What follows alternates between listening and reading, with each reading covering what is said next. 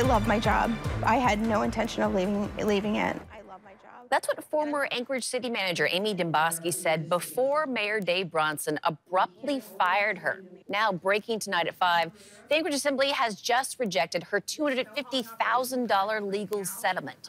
That settlement came after a year of litigation. It's the second time the Assembly has rejected settling with Demboski.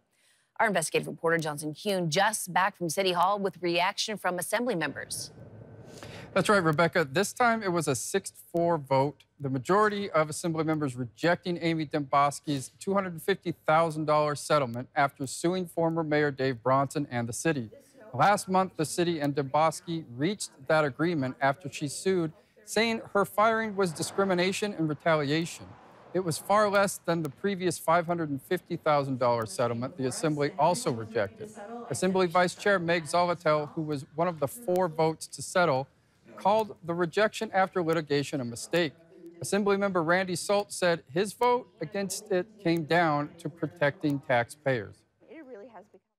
I really would ask members who um, voted against settlement of this case to think long and hard about why and what you hope to obtain out of not letting two parties who want to be done with litigation walk away under terms that they agree upon. I kind of view this as a money grab, and I think we should make it difficult and set precedents that we're not going to roll over easily. We will fight tooth and nail for every case and defend the citizens' tax dollar.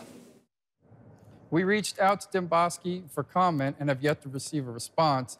Now, it's not clear right now where this heads next. New at 6, one of the assembly members say he wants to see this go to trial. Jonson Kuhn, Alaska's news source.